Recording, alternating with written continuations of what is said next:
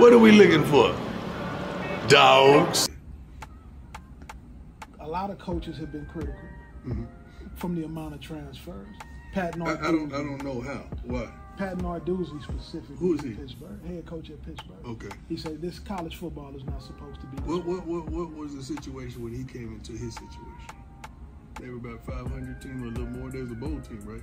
He didn't have to deal with the situation, so he's talking um, about something that he never had to deal with. I don't know this gentleman, but I wish him the best. I truly do. I don't. I if he walked through here right now with his coaching uniform on, I wouldn't even know him.